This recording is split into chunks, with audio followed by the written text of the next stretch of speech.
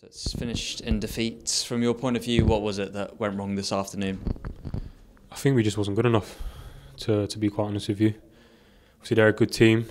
Obviously we tried to press early doors. They got a goal early on, and yeah, from there we didn't quite get uh, grips with the game. And how difficult is it for you as players when every time you seem to create a chance yourselves, Hull City came back and then scored to then keep on picking yourselves up again? You know the position we're in, we need to obviously we don't need to take our chances, but we also need to defend better. Today we didn't defend good enough, and we didn't get a goal as well in some crucial moments. So obviously, it, so it, is, it is what it is now. We we need to keep together, and we know we've got a massive game on the weekend. And we have been strong defensively of late. How important is it that a result like this doesn't change that going forward into that game against Preston next weekend? Yeah, we need, we're in a good place. If you look, obviously since the gaffer's been in, we've been improving.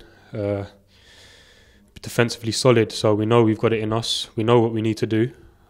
We're together.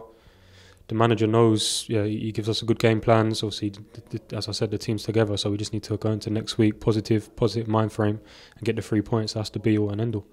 And you mentioned the manager. He said to us before that a month ago we would have dreamed of having it in our hands. It is still in our hands. How important is it as players to pick yourselves up again for that Preston game?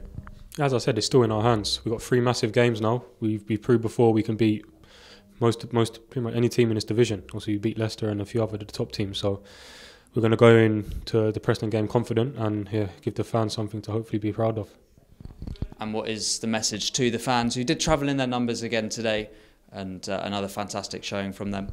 Yeah, I can't thank the fans enough. They've been fantastic with us. Yeah, just just st- still believe I believe with us. Keep going, keep us going. Also, we're trying our hardest, and uh, I'm sure we'll be fine.